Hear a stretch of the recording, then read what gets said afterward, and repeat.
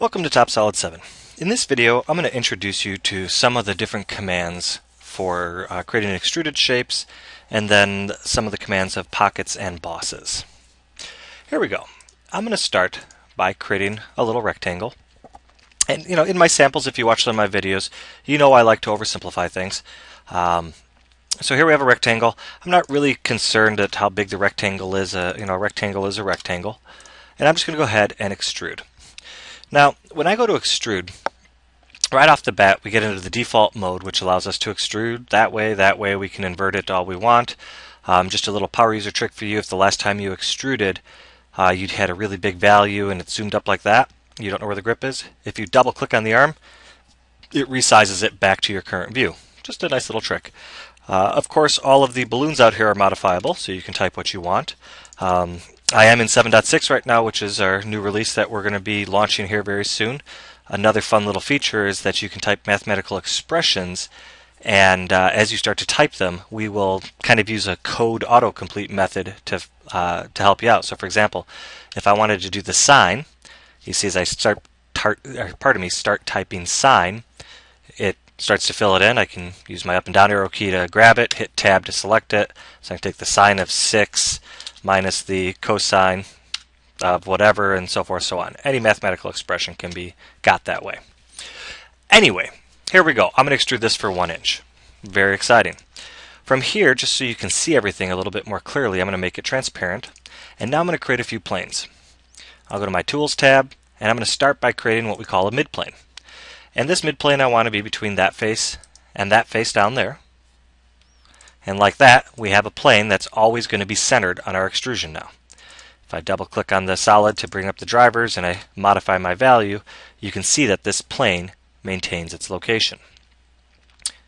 Alright, let's bring that back. From here, I'm going to create a couple more planes. I want an offset plane, maybe referencing this top face. Maybe we'll go up for an inch and a quarter. do this bottom face as well, and this one will go down just for half inch. And now what I want to do is I'm going to create a new sketch on this plane. I'm just going to create a circle in this case, right at zero. And maybe what I want to do here is just do another extrusion. Now this will create another solid body. Now what I can do is I can change my limit here to be up to a plane, or up to a surface, or a set of faces, or even another shape, okay, or a point of course. Now I can change it here, or I can right mouse button click and change it right here. So I want to go up to this plane. Maybe I also want to go in another direction. So I want to go to a second side. And down here again, I can go and change it in the dialog or by right clicking on the grip. And I'll go to a plane again. So like that, we've now limited our extrusions to and from some planes. So that creates another solid. That's pretty cool. But I'm going to undo that because I also want to show you something cool that you can do with bosses, or pardon me, pockets. In this case, my sketch is located right in the middle of my part. And what I'd like to do is create a pocket with it, and I want that pocket to always cut out. Okay, so I want it to go from where the curve is located, or the circle is located, out to the outside of the model. So instead of giving it depth, I'm going to do an in-place cut. And now here I can choose to go up or down. And like that, it's going to cut from the sketch's location out of the model, and I can validate. And now just to show you what happens if we go and make a design change, and again we make this 2 inches for example, you can see that the pocket is being maintained, its, its starting location is being maintained thanks to my midplane, and it's cutting out of the part there. Now, just like pocket, we can do the same with boss. So for example, if I go to this plane down here and create a sketch, and again I'm just going to use a circle because it's easy to follow, and now I can go to boss. Now in the boss's case, you can see it's floating up there, right? Well, I want to do an in-place boss as well. And an in-place boss means go from the sketch up to the model. That's pretty neat. But you know what? Maybe that's not complicated enough. Let's give you a bit a little bit better example. So what I'm going to do is exit out of that sketch. Actually, I'm just going to delete the sketch for now. So we don't even see it. And I'm going to go here and I'm going to go and create uh, something silly. Let's say we do something like this.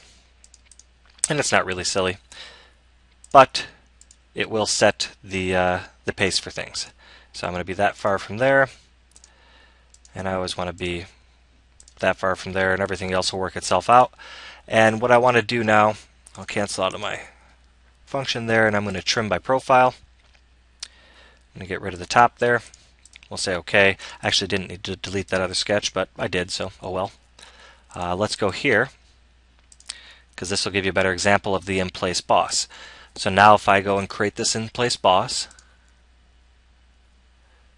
we'll switch here to in-place, and here you can see it's going up to the rest of the model.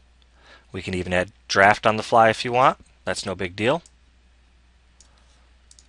Of course, got to have a realist come out. Uh, we can even add some fillets maybe.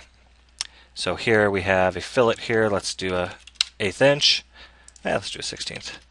Let's say the top radius is a 16th as well. And the vertical sharp corners we'll do as a quarter.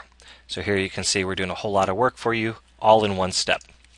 Anyway, these are just some tips and tricks for today. I hope you enjoyed the video. Check back soon for more information on TopSolid 7.